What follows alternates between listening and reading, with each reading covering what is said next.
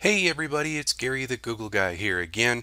I thought I'd let you know about a brand new update that has just been added to Google Mail and it is long overdue and much welcomed.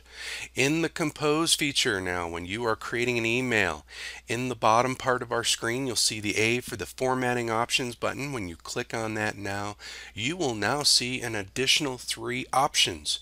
First, you will see the undo button, which everybody loves to undo when they accidentally delete that line. You have the redo. And then lastly, but long awaited, is the option all the way over to the right, the strike through text option. So those are three huge updates to the new Compose feature that I'm sure you will all enjoy.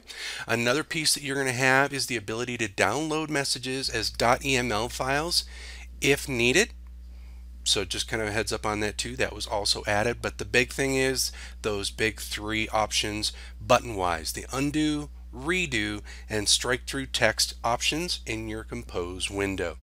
If for some reason you don't already see these options in your screen, you might want to wait another day or so. But the big thing is, is you may need to empty your cookies and cache to kind of refresh your screen outlook. To do that in your Chrome browser, go to the upper right corner of your screen three dot menu. Click on that and down at the bottom of that menu you'll see more tools.